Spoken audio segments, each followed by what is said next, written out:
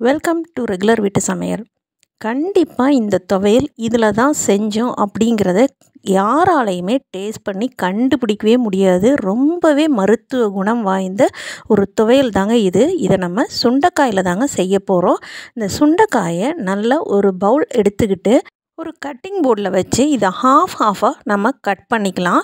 இதை பார்த்திங்க அப்படின்னா நம்ம தட்டினோம் அப்படின்னா நிறைய விதை நமக்கு வேஸ்ட் ஆகிடும் இந்த மாதிரி கட் பண்ணி எடுத்துட்டோம்னா விதையோடவே நம்ம செய்யலாம். கட் பண்ண உடனே அது கருத்துரும் அப்படிங்கிறதுனால உடனே நம்ம தண்ணியில் ஆட் பண்ணிடணும். அந்த மாதிரி நம்ம தண்ணியில் சேர்த்துட்டு மற்ற சுண்டைக்காய்களையும் இதே மாதிரி மொத்தமாக கட் பண்ணி எடுத்து வச்சுக்கலாம். இப்போ ஒரு பேனில் ஒன்றுலேருந்து ரெண்டு ஸ்பூன் எண்ணெய் ஊற்றிட்டு நல்லெண்ணெயாக இருந்தால் ரொம்பவே டேஸ்ட்டாக வரும். கழுவி வச்சிருந்த சுண்டைக்காயை தண்ணி எல்லாம் வடித்து எடுத்து இந்த எண்ணெயில் ஆட் பண்ணிடலாம். இப்போ இந்த சுண்டைக்காய் மினிமம் ஏழுலேருந்து எட்டு நிமிஷம் லோ ஃப்ளேமில் ஒன்று போல் வறுபட்டு வரணுங்க.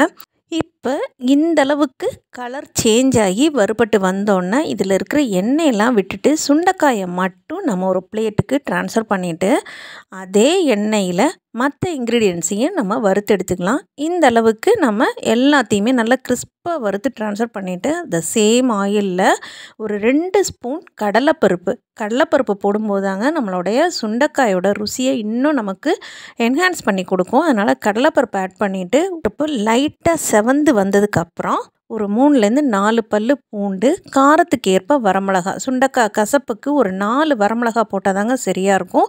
அதோட கூடவே ஒரு நெல்லிக்காய் அளவு புளியை மூணா நாளாக சின்ன சின்னதாக பிச்சு போட்டு நல்லா பொன்னிறமாக எல்லாமே வறுபட்டு வர்ற வரைக்கும் வறுத்து எடுத்துக்கலாம்.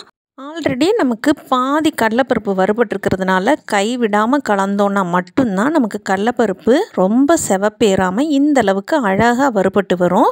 இப்போ எல்லாம் பர்ஃபெக்டாக வறுபட்டுருக்கு. இது நல்லா ஆறட்டும். இதை ஓரமாக எடுத்து வச்சிடலாம். இப்போ ஒரு மிக்சி ஜாரில் நல்லா ஆறின பருப்பு மசாலாவை இதில் ஆட் பண்ணி குறை குறைப்பாக அரைச்சி எடுத்துக்கலாம். சுண்டைக்காயோட இதை போடும்போது நம்மளோட பருப்பெல்லாம் வந்து நல்லா அரைப்பட வாய்ப்புகள் கம்மி அப்படிங்கிறதுனால ஃபஸ்ட்டு நம்ம பருப்பு வரமிளகா பூண்டு புளியெல்லாம் லைட்டாக ஒரு தடவை க்ரஷ் பண்ணி எடுத்ததுக்கு அப்புறமா நம்ம இதில் மற்ற இன்க்ரீடியன்ஸ் ஆட் பண்ணிக்கலாம். இப்போ இந்த அளவுக்கு குறை குறைப்பாக அரைஞ்சி வந்தால் போதுமானதாக இருக்கும். அதோட கூடவே நம்ம வறுத்து எடுத்து வச்சுருக்கிற சுண்டைக்காயையும் சேர்த்துட்டு தேங்காய் ஒரு அரை கப்பு தேங்காய் துருவல். இது வணக்கி போடணும்னு அவசியம் இல்லை. இந்த துவையலில் இப்படி ஃப்ரெஷ்ஷாகவே போடும்போது தான் நமக்கு டேஸ்ட்டு ஜாஸ்தி. அதோட கூடவே நமக்கு தேவைக்கேற்ப உப்பு அரைப்படுறதுக்கு தேவையான அளவு ஒரு ஸ்பூன் தண்ணியும் ஊற்றி நல்லா சாஃப்டாக ஸ்மூத்தாக அரைஞ்சி வருங்க. இந்த அளவுக்கு அரைச்சி எடுத்ததுக்கு அப்புறமா இதை வந்துட்டு வேற ஒரு பவுலுக்கு நம்ம ட்ரான்ஸ்ஃபர் பண்ணிடலாம். கன்சிஸ்டன்சி பார்க்கும்போதே தெரியும். கண்டிப்பாக இதை சுண்டைக்கால தான் நம்ம அரைச்சோன்னா யாருமே நம்ப மாட்டாங்க டேஸ்ட்டு அவ்வளோ அற்புதமாக இருக்குங்க. நிறைய பேர் சுண்டைக்காய் கசங்கும் அப்படின்னு அவாய்ட் பண்ணுவாங்க. அவங்களுக்கெல்லாம் இந்த மாதிரி நம்ம செஞ்சு கொடுக்கலாம். இதை ஒரு பவுலுக்கு ட்ரான்ஸ்ஃபர் பண்ணிட்டு இதோட ஹைலைட்டான பாயிண்ட்டே இந்த தாளிப்பு தாங்க. இதை வந்துட்டு ஒரு ஸ்பூன் நெய் ஆட் பண்ணி நம்ம வதக்கின பேன்லேயே நம்ம நெய் ஆட் பண்ணிவிட்டு அந்த நெய் நல்லா மெல்ட் ஆனதுக்கப்புறம் ஒரு ஸ்பூன் சீரகம் ஆட் பண்ணிவிட்டு சீரகம் பொறிஞ்சு வந்ததுக்கப்புறம் ஒரு ஸ்பூன் உளுத்தம்பருப்பு சேர்த்துட்டு உளுந்து லேசாக செவந்து வந்ததுக்கு அப்புறமா ஒரு எனக்கு கருவேப்பிலையும் போட்டு இதை நம்ம நல்லா தாளித்து நல்ல ஃப்ளேவர் வந்ததுக்கப்புறம் அப்படியே நம்ம ரெடி பண்ணி வச்சுருக்கிற சுண்டைக்காய் துவையலில் நம்ம ட்ரான்ஸ்ஃபர் பண்ணிடலாம்.